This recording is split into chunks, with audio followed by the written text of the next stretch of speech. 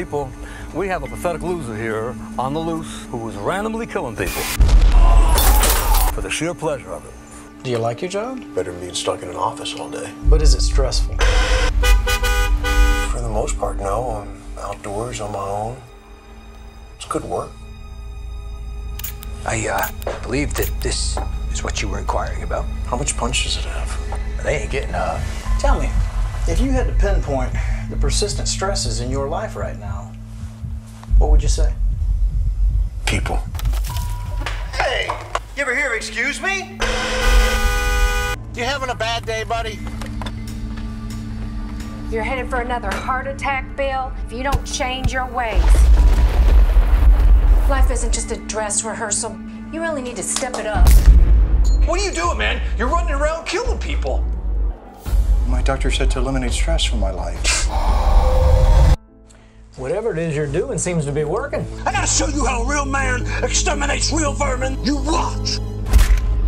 That's how the professionals do it, you know? Not with this chicken shit using a blow dart. He just took me downtown in an ice cream truck. We're partners. Not partners, detective.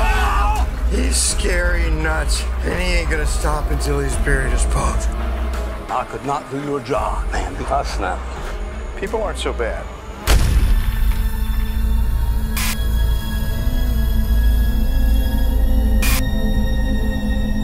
Looks like you were able to remove those persistent stresses in your life.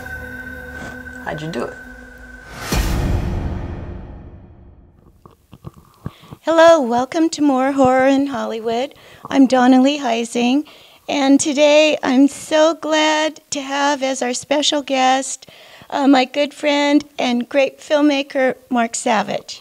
Thanks, Dawna. Great to be here again. Well, let's get started because Mark has lots of news. First, we're going to start with Mark's background because he's an award winning filmmaker who's a legend. so, so, how did you get started in film?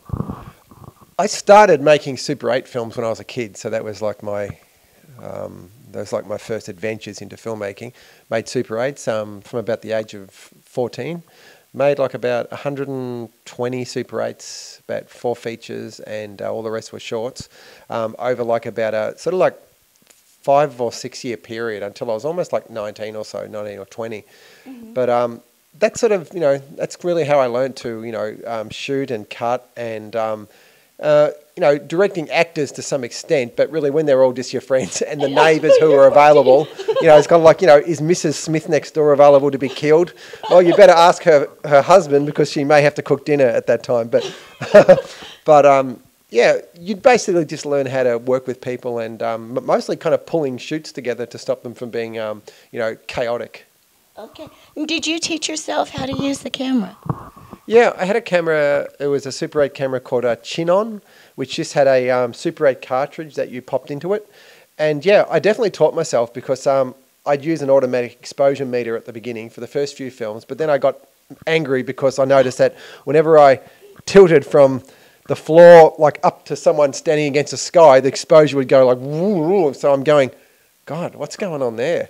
And um, because of this, this is my 14 year old self. So after a while, I go, well, actually, what it is is that, um, yeah, when you look at the sky, it's a different exposure than when you're looking at the ground. So um, pretty much trial and error. And uh, getting films back in the mail, because back in those days, you'd, you'd put them in the mailbox and you'd get them back in the mail like a week later. and um, so, you, so it's not like you'd be able to grade them or do anything. You just get back whatever you shot. So after getting back a few films that looked like, you know, kind of like just bloody awful, you know, I'd then sort of go, oh, all right, I guess I need to um, expose that a bit differently. And that's when I started to learn how to expose expose things. So um, yeah, look, it was the best learning experience I could have had. And where was this? This is in Melbourne. I was born in Melbourne. Um, lived in a little, uh, what we call a little suburb of Mount of uh, Melbourne called Mount Waverley, which was sort of like almost like a semi-rural kind of town. Like you know, apart from the fact we did have paved roads and we did have um, you know sewage and things like that. Uh, yes, um, it also had like areas that were like amazing areas where there was creeks and like a river and like you know miles and miles of motorcycle tracks and like BMX style kind of track. So there was always lots of places to shoot. You know, you'd never ever have to do anything like get someone's permission to shoot. Like you, you know, you you just go and shoot it. And generally, I'd just call on neighbours to be in the movies. And my brother, my brother Colin, was in every one of my movies. And usually he'd either kill someone or he'd get killed. Okay, now you've uh, worked in like every aspect of filmmaking. When when did you go professional? Um, yeah, I I guess I went went professional, um, so to say. Um, I think more when like when I was about 23, 24 was probably the first time when I started doing professional shoots because um, between, at, at 18 I actually left Australia and went to America, and um, so I was there for like several years where I kind of met various filmmakers um, in America, such as um, uh, in Detroit, because that's where I lived. Uh, so I met people like Sam Raimi and Josh Becker, Bruce Campbell. Um, I just met them because they were finishing off their own film at the time, which was um, a film called Book of the Dead, which became Evil Dead. Uh, I didn't work on the film, but the thing is, I met them in Detroit when I was living there, so they were actually quite an influence on me. More an influence to sort of go, okay, well, I want to follow the path that they had followed, which was basically just raising money privately, um, make using your own fills, skills as a Super 8 filmmaker, which had been them too, and then going and making a film and approaching people like dentists and doctors and that type of person for financing. So then I went back to Australia, worked for a production company. So that was when I first started getting paid professionally for the um, at least the work I was doing. But my first f- feature was actually um, at 24. Okay, and what was it? It was called Marauders. Which um, it was funny. A, a friend of mine recently just called up and said, "Hey, someone stole our title because there's a Hollywood film that just came out about a month ago or so, um, and it was called Marauders." So, so um, uh, yeah, that that was the first film that I ever did. That was a feature, and um, that was financed by myself, my brother, um, two other people, a guy called Paul Harrington, Richard Wollstonecroft, and we um, essentially convinced the guy I work for, who I was making commercials for and um, corporate videos, I convinced him. I said, "Hey, all this equipment sitting around doing nothing every weekend, it's such a waste. Um, someone, someone really should be using that equipment to do something." So um, he said, "Like to do like what?" And I said, "Well, how about um, I go and make a feature film with all this equipment, and uh, you know, if it does well, we'll split the income." And he was like, "Okay." let's do it. So that's what I spent like a year or so um, shooting it and cutting it um, with a team of four of us, and um, we ended up with um, the first feature. Oh, okay. Now you worked for a distributor too, right? Yeah, I did.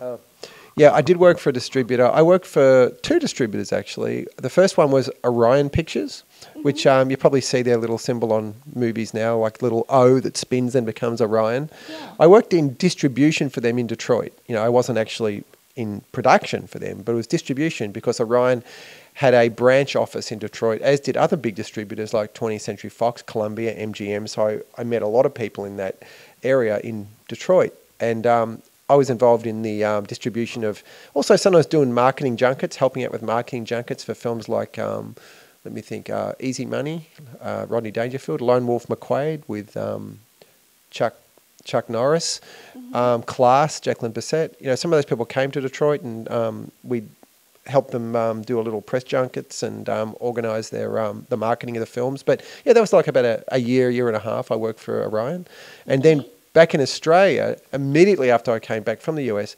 I uh, worked for a company called Village Roadshow, and Village Roadshow is still going as well. Like you'll see their actually you'll see their um, their symbol up on a lot of American movies because they often do co-productions um, with like Warner Brothers, and they also work with a company called um, I think um, June Entertainment. They you know you, will sometimes see like sort of co-productions, but yeah, they've been a, like they're a huge exhibition um, company in, in Australia. They're like the equivalent here of companies like say like um, you know Regal or um, AMC. You know, but they also do production. That's the difference. They also they were major investors in the Matrix.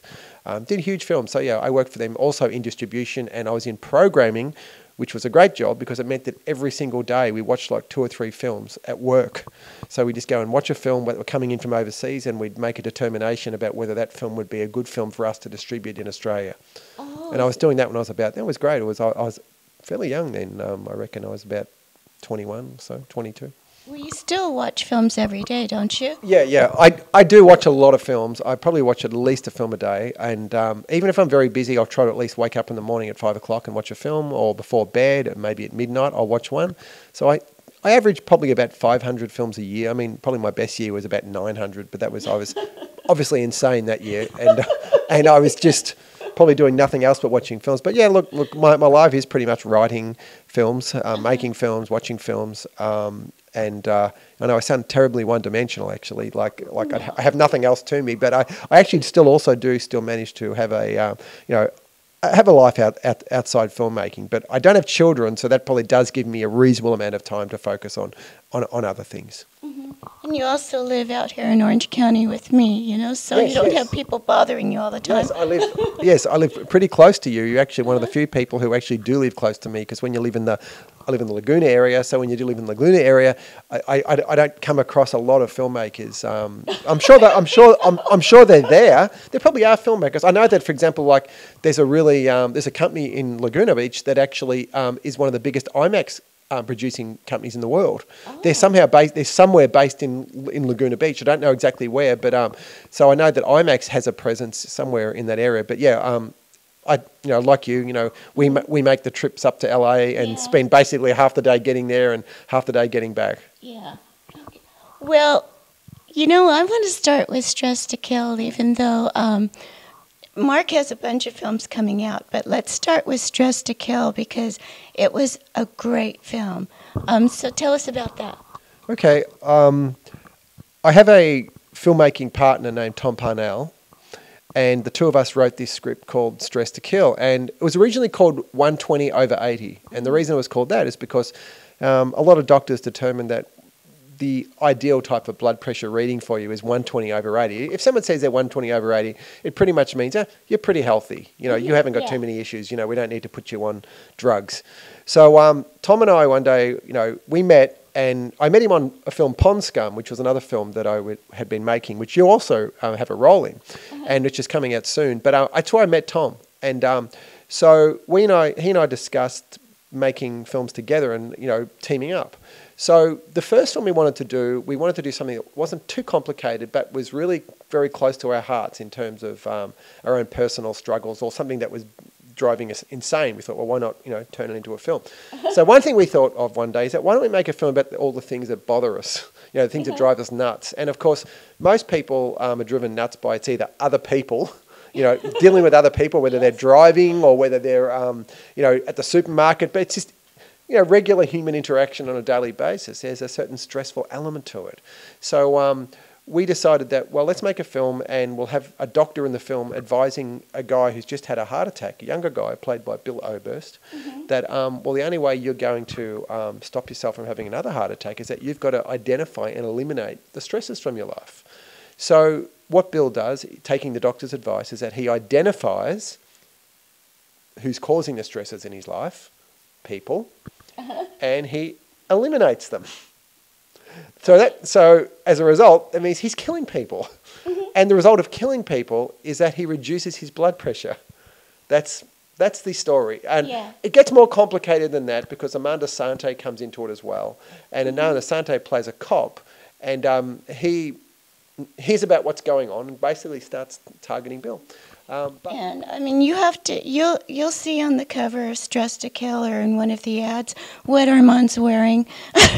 That was all your idea. Describe it. Yeah. Um, well, you know, when we're, uh, you know, well, generally, you know, when you're making the movie, you know, one of the questions that you're going to get from everybody, you know, the actors is that, you know, what am I going to be wearing? What's my wardrobe? Like my hair, you know, having a beard or whatever. Anyway, Armand had said to me, you know, let's talk about the wardrobe. And initially, um, I think he thought I was just going to give him something like, oh, well, you know, you just kind of wear like a, you know, black pants and like a suit because you he's a detective. He's not a he's not a plain clo- he's not a um, a uniform cop. You know, he's a detective, and but he's been around for a long time. And the film's set in Florida, Tampa, which is hot. Okay, so I said to him, well, you know, something I'd like to do, something a little more unusual. Well, let's first take into account the fact that it's shot in Tampa. It's hot there, so no one's going to be, or at least you're not going to like wearing something that's too hot and sweaty, you know. So I Yeah. thought, let's put you in shorts.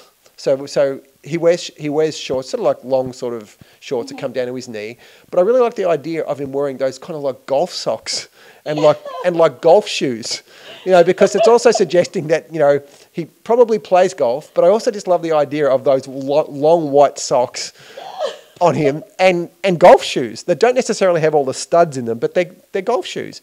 And then on top of that, we thought, well, let's also throw in like a Hawaiian shirt. So he's like got a Hawaiian shirt on top of that too, because I figured that straight away. He's a very eccentric type of cop. Like he's not a run of the mill type cop. He's not a by the book cop either. So I figured, well, let's give him something he immediately says this guy is different. This guy's, you know, his clothing makes a very strong statement about him that is a little unpredictable. You know, where's he going?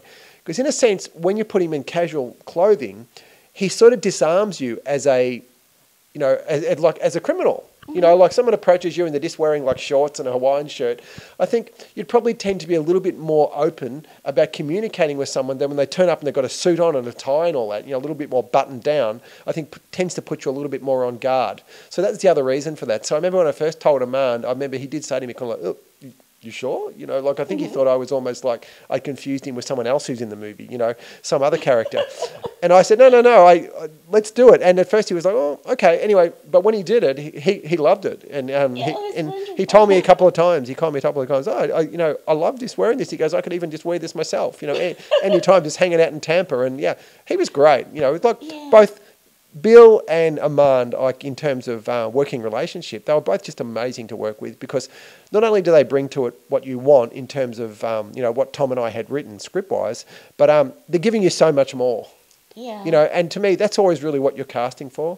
You're casting for people who not only kind of like meet your you know original requirements in terms of the type of role or the type of presence that you want, but you want people who you go, okay, they can really improvise, they can really um, kind of innovate beyond the written character.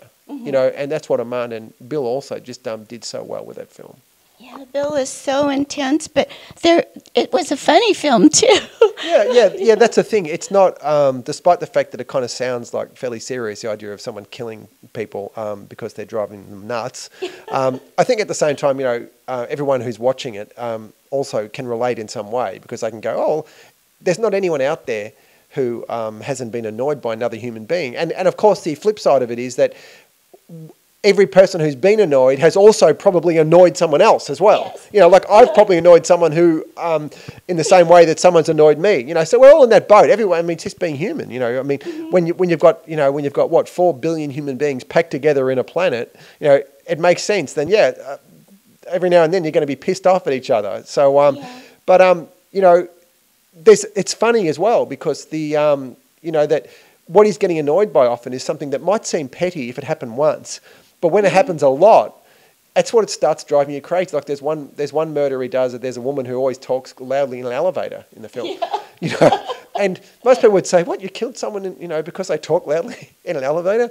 But they go, "No, I'm killing them because they do that every time I'm, I'm in the elevator, every time at work." So after like 20 or 30 times, it's like, "Hell yeah! I think I'm gonna, I'm, I think I'm gonna kill them." You know, so uh, but he also doesn't kill them like in a you know what you would say is like a terribly graphic, violent way, and and he kills them with a blow dart. You know, like it's kind of like, you know, he basically fires darts at him, and I mean, there's a few reasons for that. Like the first reason that Tom and I discussed, because Tom and I, as script writers, both are fairly, let's say, we're fairly anal about the logic of the films. You know, I mean, of course, not every film is going to be logical, because of course, a lot of films, especially action films, if you were totally logical, there'd be like a 10 second shootout and then the film would be over. But so there's certain things that you sort of go, okay, well, we need to have a shootout here, so it can go longer. It can go longer than it would normally go. But um, at the same time, for us, if someone is going around killing people in close proximity, if you're using a gun, then it's it's loud. You're, you're attracting attention. You're going to get caught. Whereas if you're if you've like got a blow dart, you're literally just I know. you can actually do it and then creep away. There's no loud sound, there's no loud bang. Most people are not having their attention drawn to what you just did. So mm-hmm. that was one of the main reasons why we went with a why we went with a blow dart. Is bec- and and then the trick was just at least trying to dramatize it as much as possible because of course visually shooting a blow dart is not as interesting as firing a gun. But we tried to do it. But you know we work with our CG artist who basically built some really interesting shots where You see the dart in slow mo going through this. Yeah, because uh, it was really Yeah, through the screen, and also really amping up the sound effects too. So when people get hit by the blow dart, you know, you hear the blow, but you also hear the dart traveling through the air, and you also hear the impact. When, of course, in reality, you probably wouldn't hear the sound of a dart Yeah. landing in someone's neck. But of course, we're sort of like we're almost like pretending as if like the microphone is right against the skin. So you hear like an, a loud impact and almost like a bit of tearing. That's pretty much how you, we are able to dramatise the the killing method a little bit more.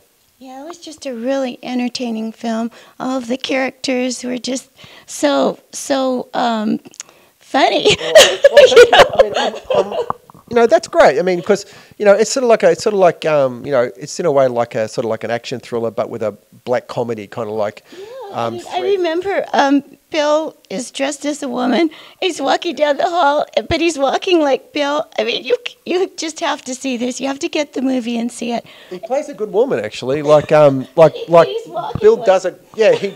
Bill. It's interesting. Yeah, yeah, Bill actually had a really kind of like an old person's kind of like gait, and but then when he is moving fast again, he, he you know, he he sort of like resorts back to Bill, and um, but it was it was funny. when- You know, when we first um, when the makeup artist was first making him up as the female, um, yeah, quite a lot of people said, "Oh my God, Bill looks really good as an old older lady like that."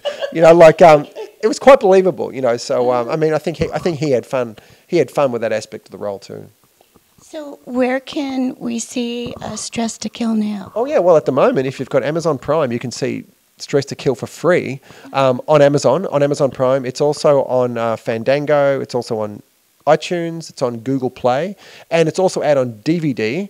And uh, probably in about six months or so, I'm also going to put out like a special edition um, of the movie, uh, which is going to have you know deleted scenes. We're also going to do um, commentary and uh, a variety of other like um, additions to it, and um, some um, you know art um, and some just like just to sort of like give people like a really full kind of like um, uh, picture of uh, you know what happened in the making of it, but also this this version might also be a slightly different cut than the than the version that was released um, that's on DVD now. So I'm I'm just doing a little bit of um, little bit of tiny little bit of recutting.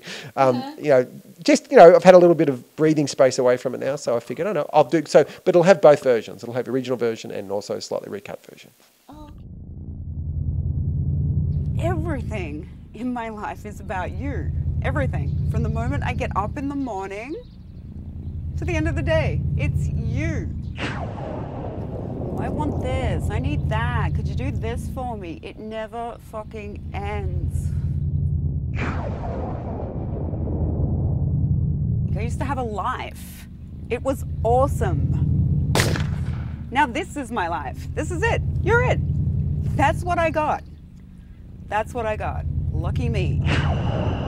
I kick myself every day. I rue the day that you came into my life. I hate you. You have no idea how much I hate you. I can't do this anymore. I've still got time left. I can still do something with my life. I don't remember the last time I had time to read a fucking book, get my nails done, take care of myself. It's all about you. You're fucking ruining my life. The best years of my fucking life. And you've got nothing to say. You've never got anything to say. You just stand there with your fucking mouth hanging open. I want to put my fucking fist through it. Are you fucking crying?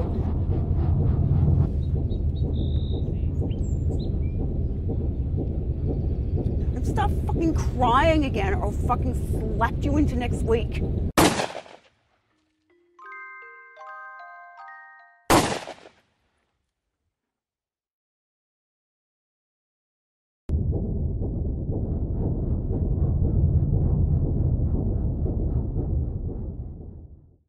Okay, now Mark has a new horror film coming out, and so tell us about it. Okay, well, of course, um, it will be coming out like later next year, but it's not even shooting yet. It shoots in December. it shoots in December. Yeah, it's called Purgatory Road. It's a um, really, um, it's a really full-on, pretty brutal horror film. This one um, with a slightly um, religious kind of thread running through it. Um, basic story is about a brother and his a brother who's a priest. It's, play, it's a priest and his brother, um, who for the last 20 years have been traveling across Mississippi um, in a mobile confessional, which is like it's like a van that's been converted into a confessional. And they stop by the road and pick up travelers, and the travelers, you know, you know, go in and do a confession, and they, you know, thanks a lot, Father, and um, they go outside and um, say their penance, their Our Father and Hail Mary, and they move on. But um, so they provide like a service to people who are like on the road and um, and even in towns that don't have churches. So it's kind of like oh, this you know every now and then they come through this town and they do that. But it's about how the the priest, the brother, his name's Father Vincent. He's pl- he's played by an actor Gary Cairns, um, who's a great actor, and um, feel very lucky to have him in the cast. Um, Gary plays this Gary plays this priest who he's got one problem with sinners, and um, the problem is that there's a certain sin that when the when the penitents, um, who are the people are confessing, when the penitents admit a certain sin to this priest, he's not able to forgive them. Okay. So he, he so his his belief is that forgiveness is in death. so death is death is their salvation. So that's where there's a little Achilles heel for Father Vincent. So um, it's pretty much about how um, everything's been going pretty well for them for quite a while, but into their into their world comes this woman from outside. This woman, and um, um, his brother is played by actor Luke Albright. And um, and then the woman who comes into the world, named Mary Frances, who's essentially a, an absolute psycho. Um, and, and, and, and when I say psycho, I really mean psycho. Um, that um, she's played by a, a really amazing actress um, who I've gotten to know, and um, I really have a lot of respect for her work, um, which is Trista Robinson. And um, so um, Gary, Luke, and Trista. Gary, Luke, and Trista are pretty much like make up the trio in the in this film. that uh, it gets things just get very very nasty once Trista gets into there, sort of infiltrates our little group, um, because uh, it's not really something that Michael, who is Father Vincent's brother, is really happy with, but. Um, Mary Frances Trista actually has a way of kind of like insinuating herself into this group, which basically has, let's just say, like a really bloody, brutal um, um, consequences of her doing that. Okay. Um, so they're real priests, or are they just faking it? No, no. Um, Father Vincent is a real priest, um, and and the story is pretty much about how um, you know someone can actually have very good intentions and be totally sincere, but what they don't realise is that their their sincerity and their intentions are still killing people and they're hurting people. And he's really an example. He's an example of someone who has faith and total belief in what he's doing. That yeah, he he he never for one moment actually stops and sort of uh, really relishes the killing. He really believes that for a certain sin, I won't say what that sin is, but for a certain sin, he's got to kill people. It's their only way that they're going to find salvation. The only way, you know, that they're going to um, get to heaven. You know, in order, you know, after they've been forgiven. So the film really kind of like plays with that whole notions of of what of what forgiveness is, of what a sin is, um, but it's all basically done in a really um, in, a, in, a, really sort of um, intense kind of horror film structure, and um, where even where the boys live, um, they live in this amazing house that we've found in our location scouting in Mississippi. It's like the house had been abandoned for 45 years, but we even found when we went in there, there were even old toothbrushes and, and clothing that was still hanging. Like some of it, we could literally grab the clothing by the you know by the edge and just pull it a little bit and the clothing just tears. It's, it's oh. sat there for so long. But yeah actually toothbrushes and face towels and that that haven't been touched in 45 years. So when we were making plans you know to use the house you know the guy who is renting the house out to us had said oh well i'll clean this all up. I was like no no. Oh, don't it. clean it up. Don't clean it up. Like because the house is like fully furnished and the furniture's just been left there So, it's uh, really creepy it's really creepy. yeah, like quite a lot of the crew who even went in there when we did our location scout a number of uh, weeks ago. Um, people were really creeped out by it, and they're sort of saying, "Are we really going to be in here like what for weeks on end?" I said, "Oh well, you know, about a week or so we'll be shooting inside the house," and people kind of like, "Oh my god, I got such a weird feeling being in this place." so it's great. Yeah, like I love yeah, it. well, perfect for a horror film. It's- oh yeah, it's great. And Now, now, is the brother in on this, or is he? Yeah, um, no, the yeah, the the brother knows what's going on, but the brother um, himself doesn't do um, you know doesn't do a lot of the killing, you know. But um, he knows what's going on, and part of the conflict is is when he starts to examine his own conscience about what they're doing. So that also sort of that also comes up with. But you'd ha- you'll have to see the film to see how that see how that gets resolved. Okay. No, why do you say it's going to be like um, more than an R? What? Oh, oh well, because um, I mean, it it has um, it has aspects of um, like I want to make it like really the killings are very bloody. The killings are very bloody. I mean, obviously the R rating these days is, is you can get away with a lot more these days than you can like say back 10, 20 years ago. Um, but I'm I'm just saying that um, it's not being made with me having any sort of um, uh, concern about well we can't really do that because um, that may get us that may not get us an R rating. But the thing is, it's just that the film's very, very graphic. The film's very graphic also. You know, there's a certain amount of sexual content that's quite graphic. It also basically has hints of like, um, you know, necrophilia. Um, and, you know, there's all kinds of, you know, there- there's something for the whole family in this, you know. Um, so, um, you know, it's, um, And who contributed more to the writing, you or Tom? well, well, well, I mean, I'd, I'd say that. I mean, he of course, would, he, he of course would say that some of the extreme elements are mine, but um, but I'll deny that. You know, I'll deny I'll deny that in open court. Um, but um, but yeah, but Tom and I pretty much we um, you know, we both worked on the we both worked on the outline. We generally we write together, so we worked on the outline.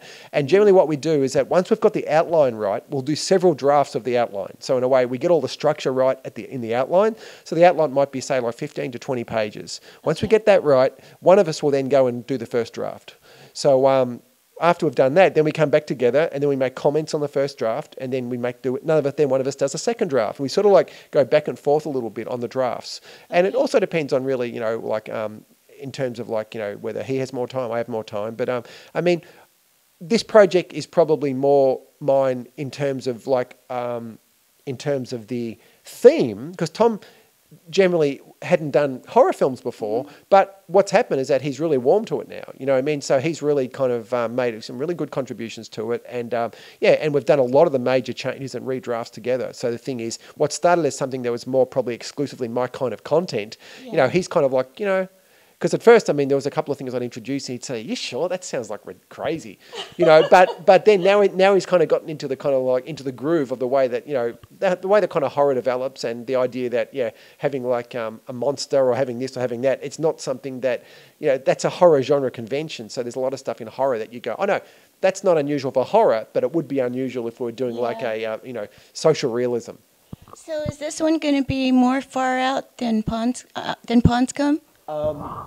Yeah, I mean, Pond Scum's very, um, yeah, I mean, Pond Scum's probably, the guess the difference with Pond Scum is that Pond Scum's got um, less um, sympathetic characters. You know, like it has it has one sympathetic character. I mean, I think this one has more. I mean, the thing is, you always got to have that nice balance between, you know, because you can have a lot of bad stuff going on, but you've still got to have someone in the movie that the audience is going to root for. You know what I mean?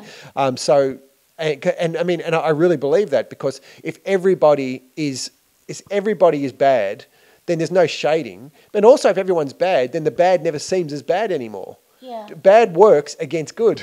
You know that you know when you've got someone arguing that you know that you shouldn't do that, or why you're you doing that, or trying to stop someone from doing something, that's that then becomes like the i- the audience identifier. Okay.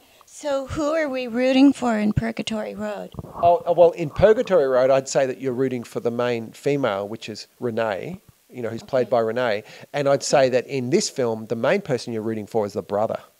Oh, Yeah, in Purgatory Road, I'd say he's the main person because, I mean, you learn a lot of interesting things about Vincent, um, but I'd say that the sympathy really, the sympathy is really going to be with the brother in that film. Okay. Yeah.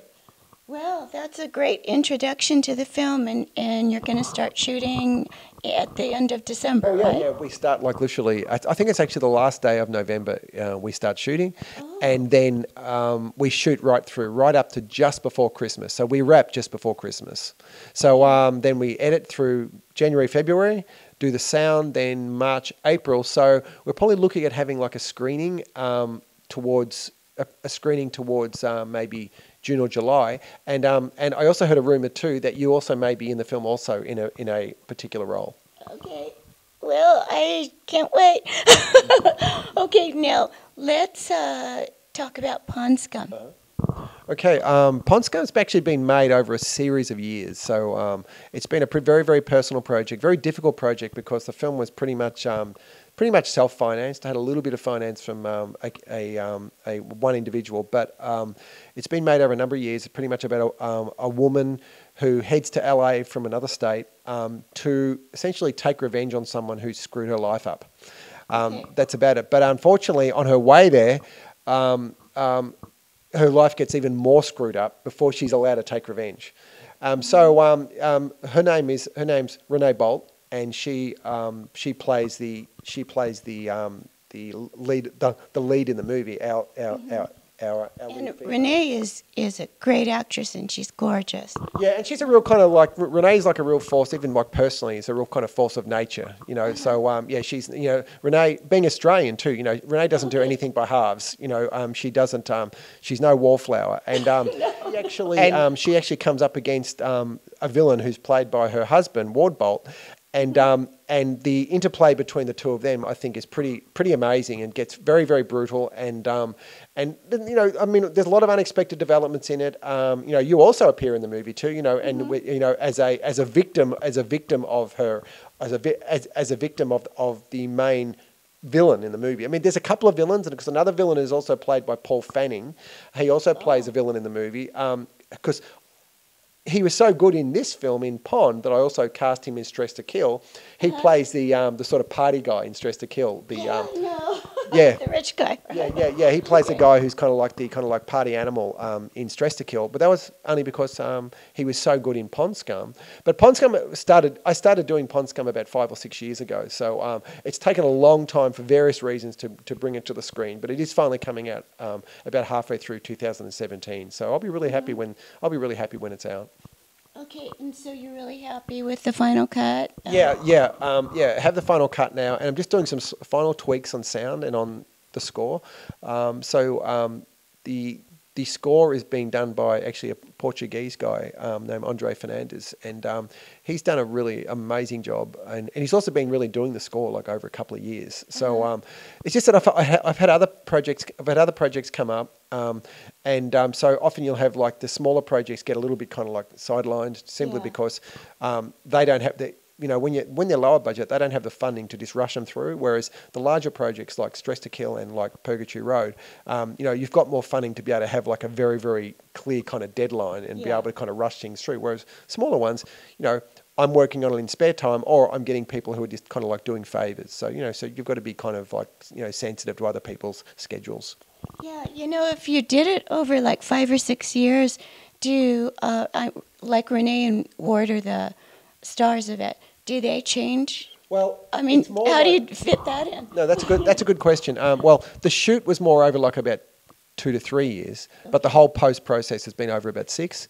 Um, so, but ultimately, um, uh, ultimately, I mean, they change it. I mean, they change slightly, but the thing is, I mean, it, unless they're people who like are, are literally kind of like you know putting on you know huge eaters and putting on massive amounts of weight and losing it and gaining it and losing it and gaining it, um, yeah, it, it doesn't make that much difference. I mean, probably probably because of the way the film's cut, um, it probably seems like you see less of a change because there's quite a little bit of switching back and forth between time. Oh. So, um, but um, I mean, that the thing that's difficult for the actors, of course, is that um, um, they've got to kind of maintain their own personal continuity because um, it's hard for them. For example, they suddenly go, "Well, you know, I need to cut my hair for another movie." Well, that then becomes a problem, you know. Um, but luckily, that that really that really wasn't an issue. And I mean, everybody was. Um, I mean, everybody was very um, uh, was great about the time it actually took to make. But I'm I'm sort of glad in a way that it's taken this long because it's really given me a way to cut it in a particular way that I probably wouldn't have cut if I'd just gone straight from shooting straight into editing. Because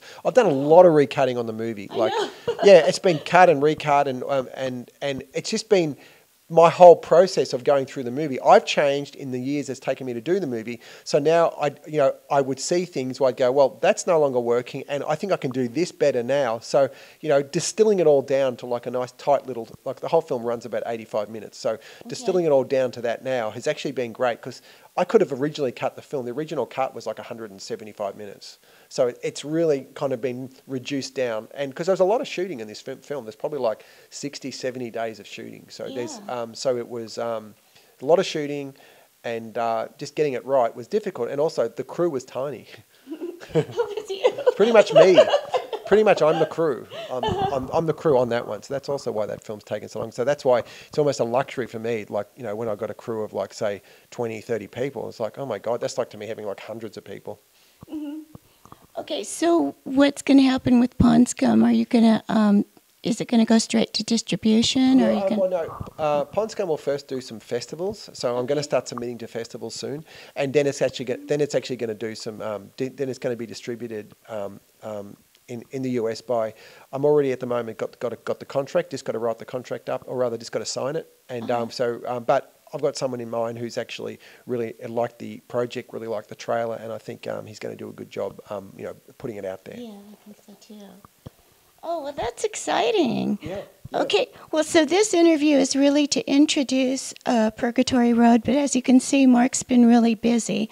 Um, we'll do another interview for more horror after Purgatory Road is shot, and um, maybe interviews with the cast too. Sure, yeah, like um, yeah, I mean they're all such interesting, um, you know, they're all such interesting people The cast on this, and you know they've all been in a lot of indie movies, um, and but the main thing is it's a commitment, you know, like you know Gary, Luke, and Trista, and you know all of them have got like just an amazing commitment to the character, amazing commitments to basically the kind of people who's kind of like you know they have like a bit of a sort of like um, you know um, they die for their die for their art sort of mentality, which I really appreciate. Oh, and another cast member who's um, been added is um, Amanda Thomas. I saw that. Um, yeah, she's also come on as a as a character, as a smaller character, but very important character, um, Dominique. So yeah, just just at the moment, just doing all the casting, literally doing all the casting now. We've got a casting director who's working with us in out of New Orleans and in Mississippi, and um, this guy Matthew, he's doing all the um, sending, starting to send us all like auditions, sending us suggestions and all that. So